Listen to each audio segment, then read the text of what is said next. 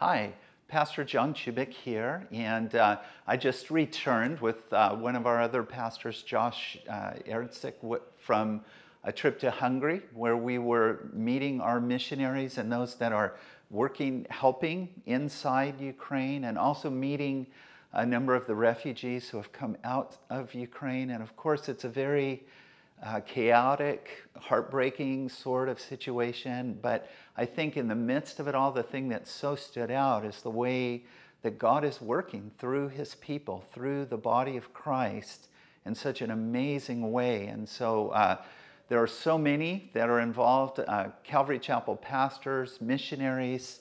Uh, different people, both from inside the Ukraine and um, from the uh, the body there in Hungary, but then also Poland, Romania, Slovakia, you know, all different, reaching out to Germany and, and places like that where people are, are getting involved and coming together. So, um, of course, now almost 3 million refugees have come out of the Ukraine. It's a completely unprecedented flow of refugees, many coming from just absolutely heartbreaking situations. Uh, again, many people that we have known for years, people that have come out of our Calvary Chapel churches and, and things, and uh, as they share their stories, it's just incredible as their towns have been destroyed and their homes have been destroyed, and uh, many of them, uh, everything they had in the world, they have lost in just a moment or two, and now they're coming out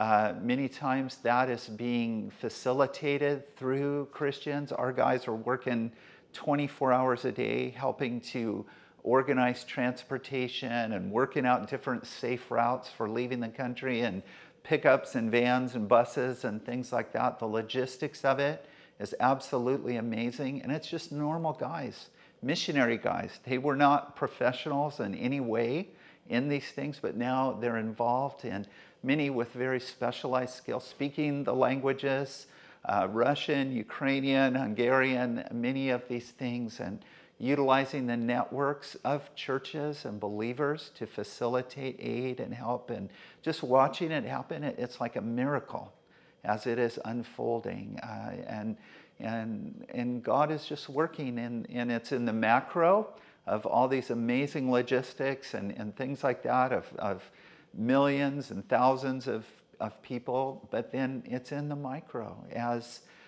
people are being received by their brothers and sisters in Christ. The Hungarian church, as we saw it, you know, receiving their Ukrainian brothers and sisters in Christ with, with love and care and gentleness and, you know, miraculous things happening almost at the, the turn of a moment. You know, a whole orphanage full of children trying to find a place to land, being displaced, and you know, phone calls being made, emails, these different things, and then you know, within a matter of hours, uh, a place being found for this whole orphanage worth of kids to to land. So you know, those kind of things are just happening hour by hour.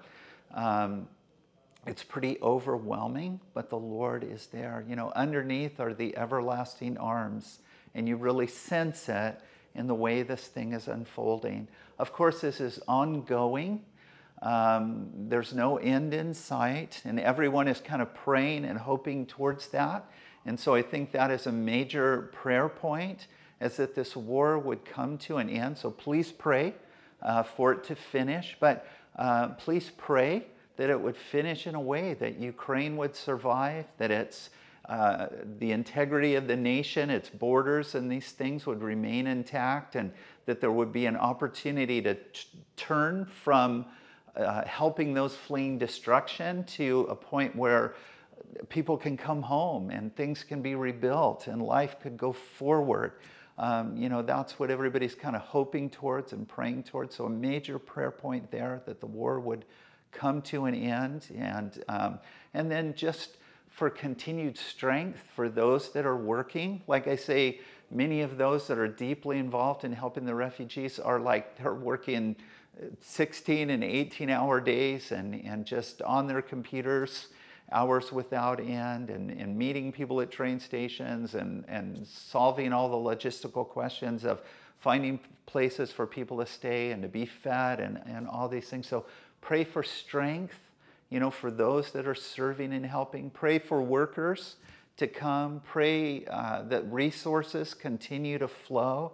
Um, thank you for all your generosity and in giving, and that is having a very real impact um, as the body of Christ around the world pours resources uh, into this situation. And, you know, just pray for people to come to know the Lord. People are coming to the Lord.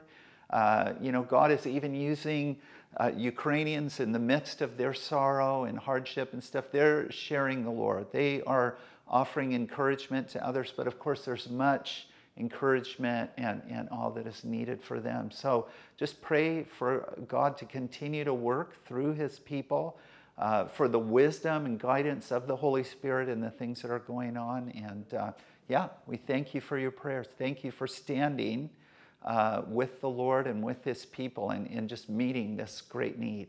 And uh, yeah, amen.